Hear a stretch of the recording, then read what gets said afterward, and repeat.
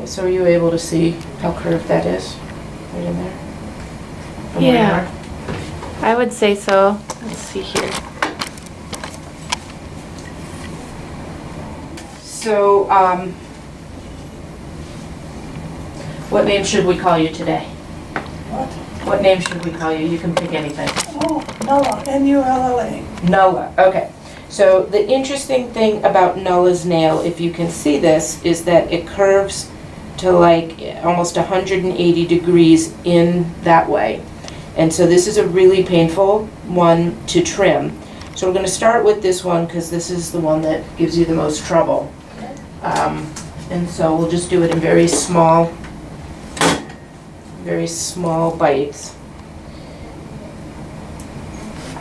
And then it usually leaves a pretty big void down there when we're done.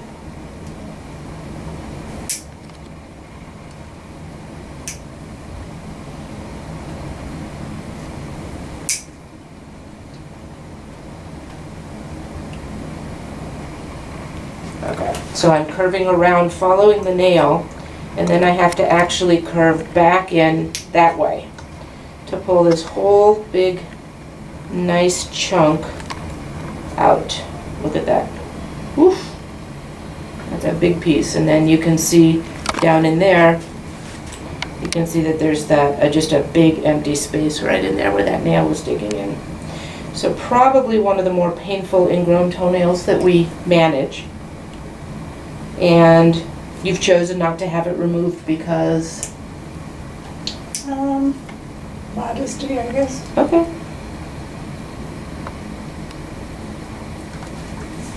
Meaning you don't think you'd like how it looks? Correct. Okay. I've already got a weird one on the other foot. Okay. Okay, now how does that feel when I press there? No pain at all. No pain, okay. So the last thing is, I'm just gonna go down and make sure that there's no crud down in there. Alright. So there is another little piece of nail I've gotta grab, though. Should I try and get another angle on it? Um, no, there just isn't a better angle I think you're gonna be able to get unless you're on top of my head. There's just a little spike there.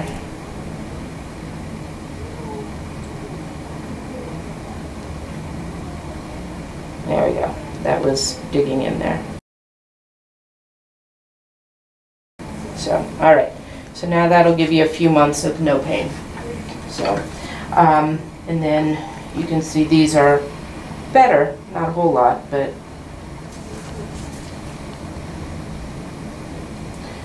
So again, we follow the shape of the nail.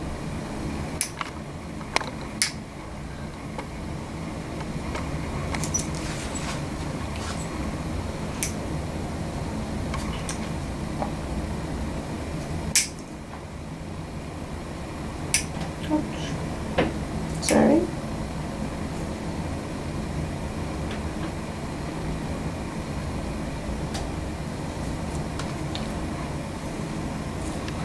This one it's kind of like a horseshoe shape. Can you see from where you are? I wonder if I go over to the side. Try it. Yeah. Can see, okay. So again, even though this is like a smushed horseshoe shape, we just keep following around the shape of the nail and that way we don't get the skin underneath. And Nola, is it? Just let me know if anything I'm doing is hurting. Like if where I'm holding your toe for the video is uncomfortable.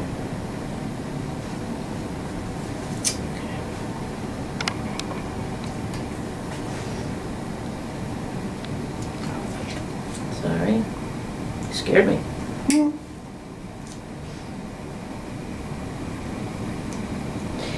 And on nails like these, I'll tell you, no matter how gentle you are, sometimes it just hurts. Mm-hmm. And there's not a lot to do, but go quickly. It's kind of like getting a shot, I think. You know you have to do it, so let's just do it quickly.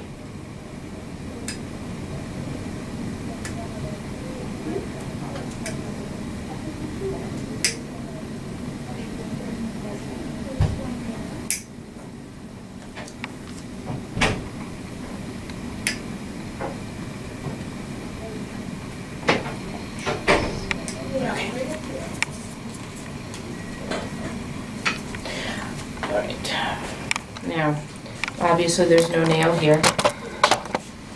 I forget what happened with this one. It was uh, growing up from the end, I don't know why. Oh, Years ago. The bone was growing up? Yeah. Okay.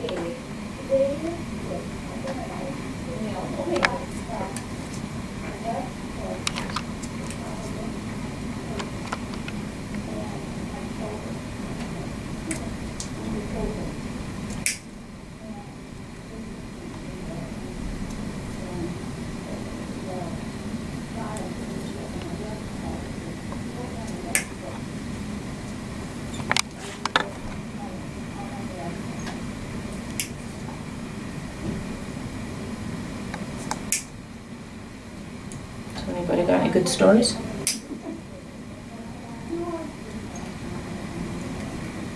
You doing anything fun? Yeah, I was in Wisconsin for the Fourth of July Mhm. parade. Oh. You were in the parade? No, Oh, You were at the parade. at the parade, my family lake place. Okay. It's about 25 miles south of Hurley and Ironwood, where Michigan and Wisconsin are together there. My sister-in-law's family has had that property for many, many years on the water. So I stayed a week and I was lazy and loving it. Yeah. Sometimes that's just the best. Not doing a lot, huh? Mm-hmm. Is it one of those quiet lakes, or do they have? Do they allow the loud motor boats on there? Motorboats and, Yeah. Jet skis and yeah, fishermen. It's lovely. Quiet, usually. All right, so I'm gonna go ahead and thin all these out. Okay, Sorry, go ahead. You're saying. Oh, parade used to go around the block so it lasted longer. And now they've got more. So say is the town one block long? About, yeah, it's about the size of Osseo, Okay. but now they have all kinds of, now I have to be quiet. No, Oh, that's fine. I'm just they have waiting. All kinds of ambulances and fire trucks and horses and crazy fun stuff that, you know, throwing candy out to the kids. and It was fun. Oh, that's fine.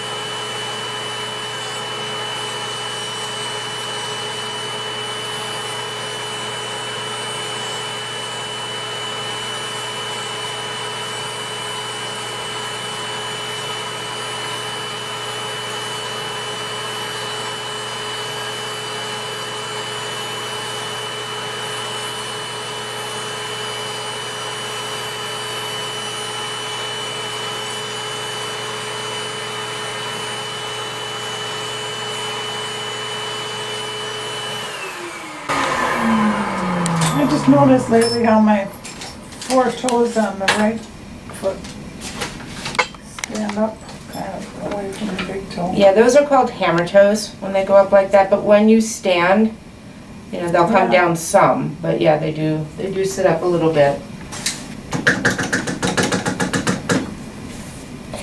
And then we'll get the callus on the bottom. What's that from? Um, where is it? Right there. It's because this bone is kind of, this whole arch is kind of collapsed a little bit, so it's got a little protrusion down on the bottom. And that is, um, putting pressure on the skin from inside against the ground or your shoe on the outside.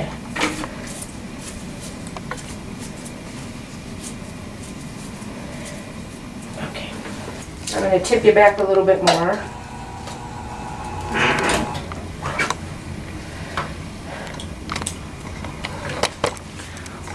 Let's see. Oh yeah, that's good.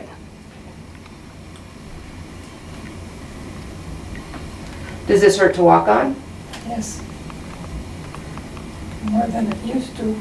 Well, you know, the, as things collapse a little bit more in your arch, um, it'll become a little more prominent and a little more prominent. And I'll be here more times than usual. Well, yeah, you know, and there, sometimes people do have to come a little more frequently because of the callus. Mhm. So we'll take a look and maybe shorten the time between visits. Okay, Um, I only live a mile from here. Hmm? I only live a mile from here. Oh, good, okay. And You the- might get sick of me. I would not get sick of you. Not her again. I might not remember that we called you Noah. I'll tell you why. Can I tell you why? Absolutely, it's an interesting name. My parents were musicians. Father played the violin and mother the piano. And my dad's other occupation during the day was a truck that he drove between Duluth and Superior. Mhm. But anyway, when my grandma was there to take care of me when I was just little, and across the front door, they had one of those things that spread, you know, like a.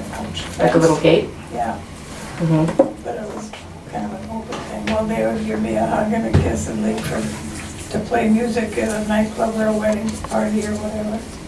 And I'd stand there and say, Nala love, I wanted another love. Oh, So they'd have to come back and give me another hug.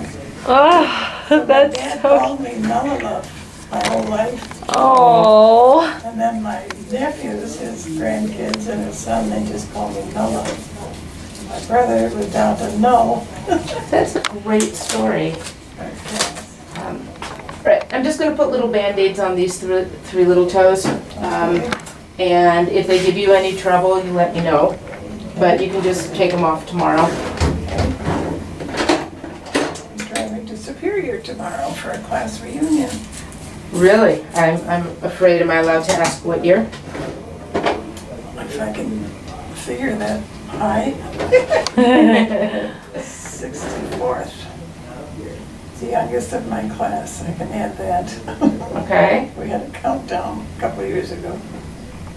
I was still standing when they said remain standing if your birthday, whatever. That's before they had, you know, if your birthday's after September something, you have to start the next year. Mhm. How big was your class? Well, and then my high school class was two hundred and seventy-five, I think. Now there's only about fifty left that come to the reunions. Hey, after 64 years, 50 people still show up and come to Minnesota from wherever? Yeah. Well, that would be Wisconsin, right? Or Wisconsin? Well, yeah. Superior's Wisconsin, yeah. Never been there. I used to have to MC the thing and they didn't call me this year, so that's why I let it relax a little more. And just enjoy. Yeah, sometimes saying no is liberating, yeah?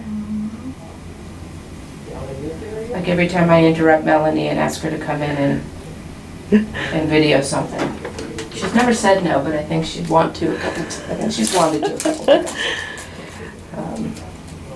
No, the room is a good change of scenery sometimes. All right, so everything here looks, looks good. If any of these three toes give you any trouble, you give me a call. But I think just leaving these Band-Aids on for a day and they'll be fine. And then um, I'm gonna go look at my computer and see how frequently you've been coming and maybe we'll shorten it down because of that.